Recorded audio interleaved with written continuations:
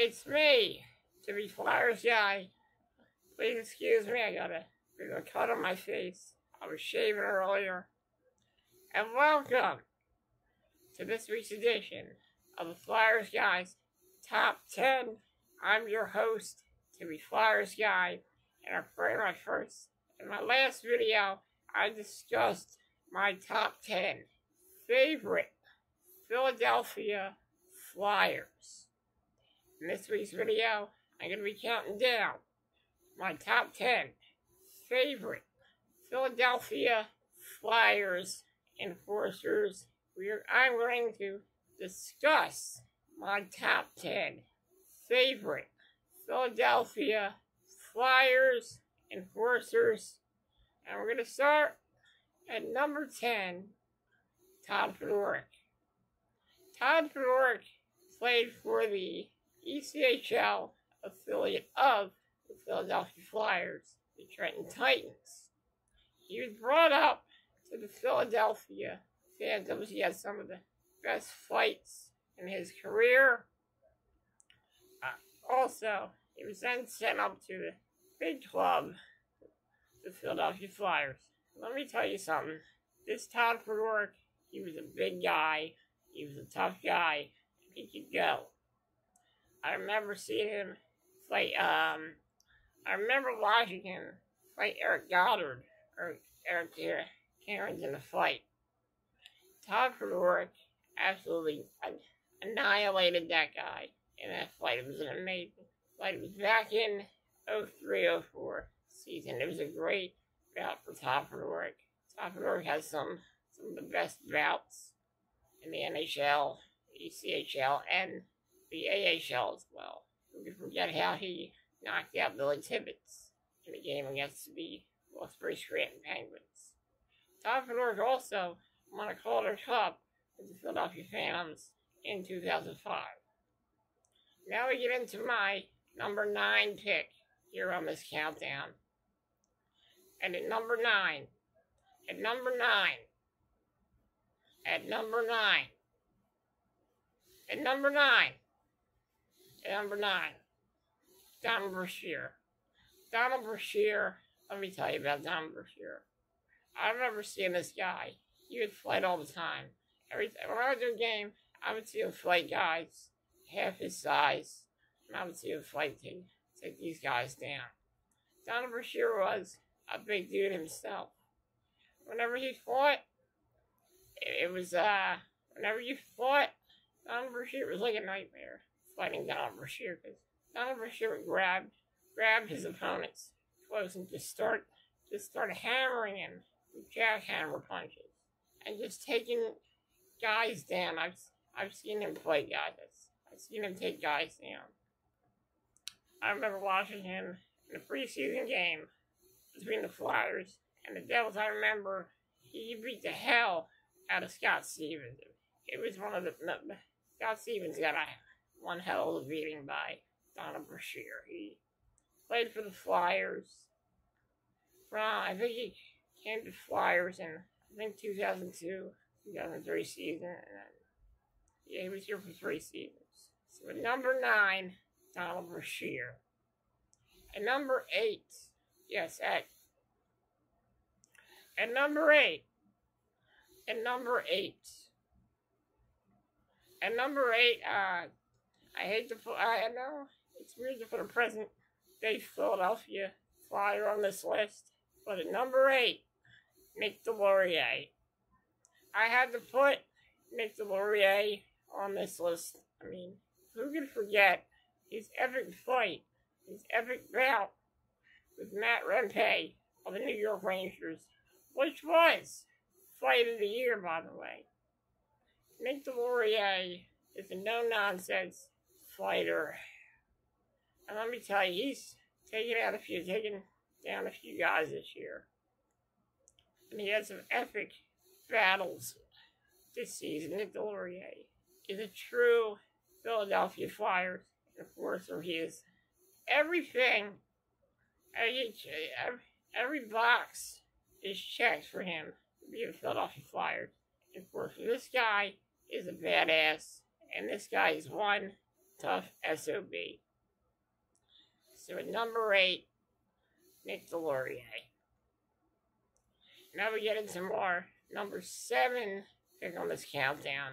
At number seven, Zac Rinaldo.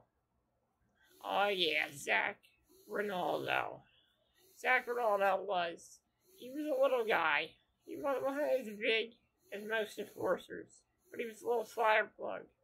Zac Rinaldo was for the for, for not for his size, Zac Rinaldo was a pretty tough guy. I've seen this guy fight. This guy is he's a freaking animal when he fights people. He just continually punches zombies. The guy's an animal, and I've seen him take guys on that were bigger than him. He may not have won some of those fights, but he was a tough guy, and he wasn't to take any any shit from his opponents. So number seven, Zac Rinaldo. Now we get to number six. At number six, Dan Carcillo. Carcillo, I gotta tell you, dude was tough. Dude was a badass. Just get one look at this guy, and he looks like an absolute, an absolute badass. I've seen some of his, some of his fights over the years. He was one of the toughest fighters. I remember in a preseason game he fought um Mark Fraser and knocked him out in one punch. And who can forget one of his fights in the Winter Classic, his epic fight with Shawn Thornton. Shawn Thornton at the 2010 Winter Classic. That was a doozy of a fight. I gotta say, Carcillo. Well, he wasn't just he was wasn't just a tough guy. He was he could also score goals, and he was highly skilled when he had to be. But when he had to drop the gloves, he would drop the gloves. So number six, Dan Carcillo. At number five, at number five, number five, Dave Brown. This guy was one of the toughest Philadelphia Flyers of the 1980s era of the Philadelphia Flyers. He was strong, he was tough, and believe me, he could go. Night after night, when he had to fight somebody, he would take them on and fight them and show no mercy in his fights. So number five, so number, who was it, number eight? So number, at number five, Dave Brown. Now we get into number four on this countdown. Number four on this countdown. And at number four, at number four, at number four, Riley Cote. Riley Cote was a freaking badass. He was a martial artist and a hockey player. And when he fought, he would he would he would use his martial arts skill in a fight. The way he would throw his hands was incredible. He would take a lot of he would take a lot he would take a lot of punches and he would throw a lot of punches. Riley Cote, I was first introduced to Riley Cote when I went to a Philadelphia Phantoms game.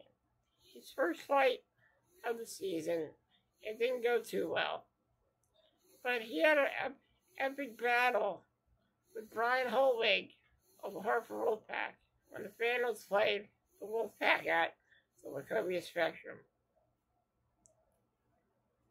And also, who can forget, who can forget when he knocked out Andrew, Andrew Law in the game between the Flyers and the Lightning.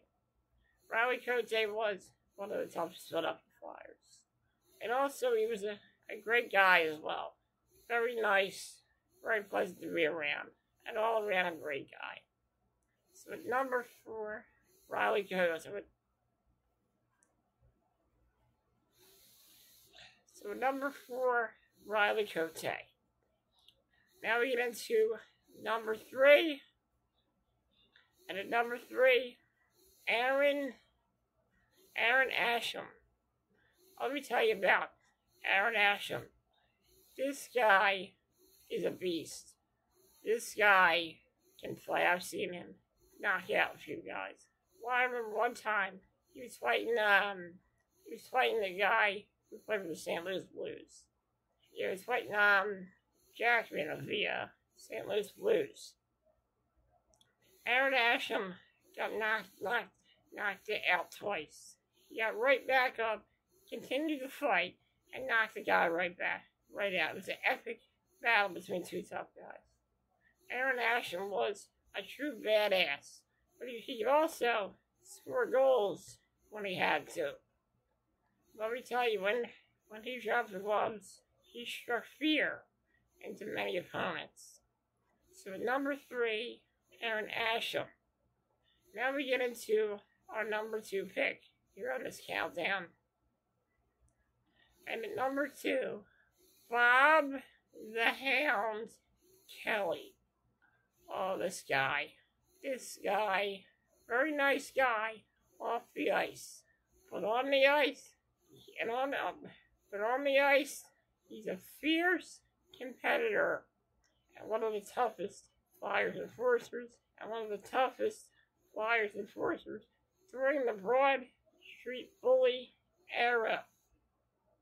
Bob Kelly was a big guy, but he was strong. He was tough.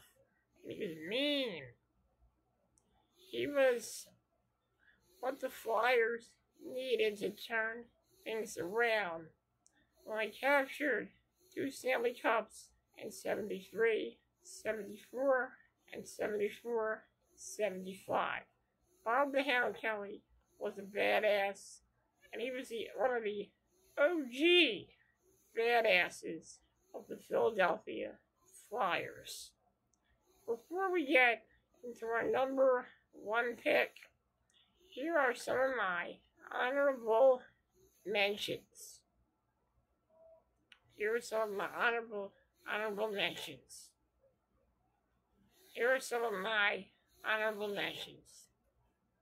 Here are some of my honorable mentions. Rick Tocchet. Rick Tocchet was a highly skilled player, but he could also drop drop the gloves if he needed to. He was the heart and soul of the 1980 Philadelphia Flyers. He was a tough, strong player that had heart, courage, and determination. And when he had to fight, he would fight, and he was one of the toughest guys that ever played hockey for the Philadelphia Flyers.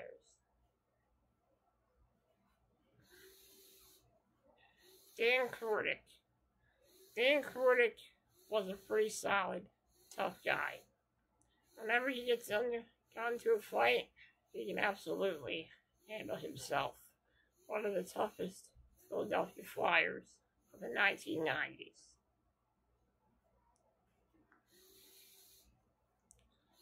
Zack MacEwen. Zack MacEwen was a Philadelphia Flyer at one time. He had some epic fights. The Lehigh Valley Phantoms and the Philadelphia Flyers. He was he was a tough guy with a heart of gold. He was me. He was nice off the ice. But on the ice, when he was dropping in he was dropping the gloves, he was a fierce competitor. MacEwen was a tough guy, but also a great humanitarian as well. Tyrell Goulbourne. Tyrell Goulbourne played for the Lehigh Valley Phantoms, and he was one of the toughest Lehigh Valley Phantoms that ever played. So he had some epic bouts and some epic knockouts as well, even uh, knocking out former Flyer and Phantom Zach Sortini. Tyrell Goulbourne is a real tough guy. I've seen him fight a guy who played for the Charlotte Chargers one time. It was an epic bout. And Tyrell Goulbourne came out on top with a knockout. Tyrell Goulbourne was a badass, a tough guy, and a great guy as well. I met him back in 2016 at the Philadelphia. I met him back in 2016 at the Flyers Carnival. All around great guy. All around great guy.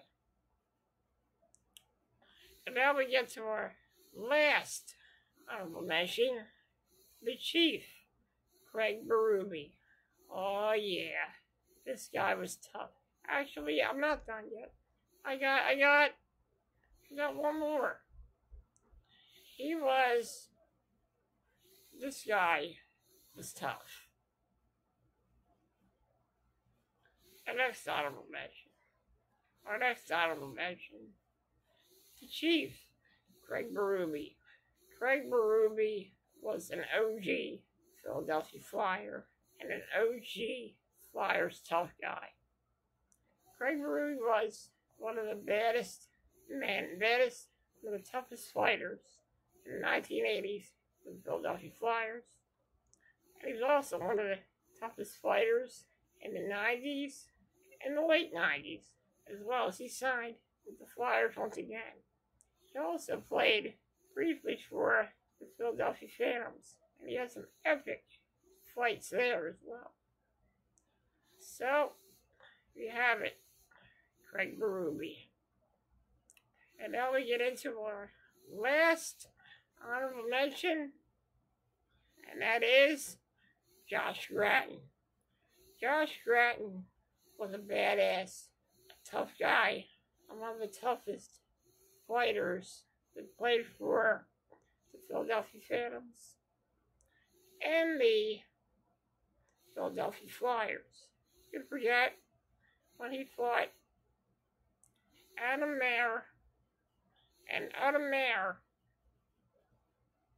Adam Mair and Adam Mair and Andre Roy at the same time.